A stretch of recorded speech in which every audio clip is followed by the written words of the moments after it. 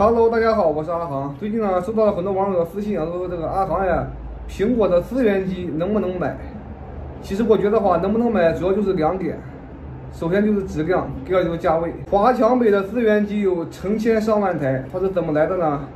有人说是工厂的一些啊不合格的瑕疵品，也有人说是这个苹果官方的十四天无理由退货的。但是的话，就算是这两种加起来，也不足以支撑华强北这么大的需求量。据我所知，华强北的话，每家档口一个月的话都要卖几万台资源机。你工厂瑕疵品和退货的话，咱们能有多少台，对不对？远远是达不到这个数量的。这怎么来的话，咱们就不做过深度的研究了。这的话对咱们来说没有什么意义。咱们只在乎就它的质量到底行不行。这的话，咱们要去华强北的维修档口去看一下了。真的是修不完的资源机，搬不完的板。有些主板的话，甚至比那种官方机的主板还要差。就算是搬板也不能解决，直接就是报废。凡是做手机时间比较久的都知道，这个资源机的售后率是要比正常机的话要高了很多。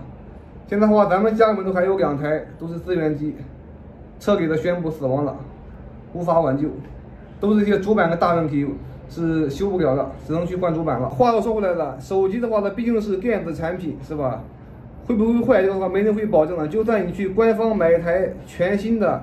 带一年联保的，它也有坏的，而且的话坏的也还不少。这这就是电子产品的不可预估性。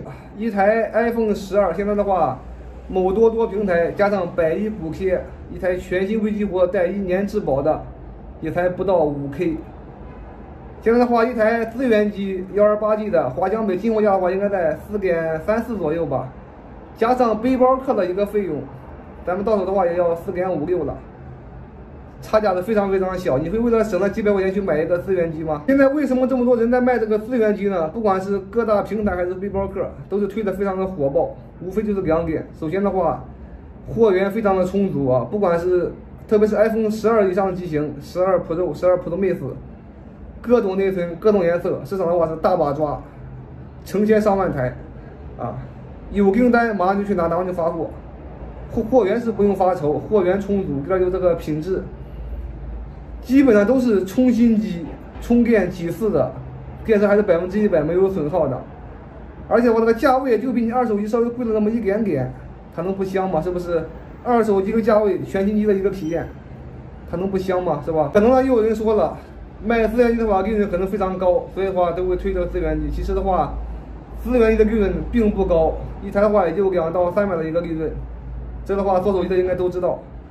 真正赚钱的话，都是一些幕后操盘手啊，到了一一批货，那才真正赚到钱的。像飞扬的话，档口和背包客，都赚了一个皮毛而已。那么这个资源机到底是能不能买呢？欢迎发表一下你们自己的看法吧。我该说的话都已经说完了。好，今天视频呢就分享这里了。现在的话，咱们去华强北淘机器，Go。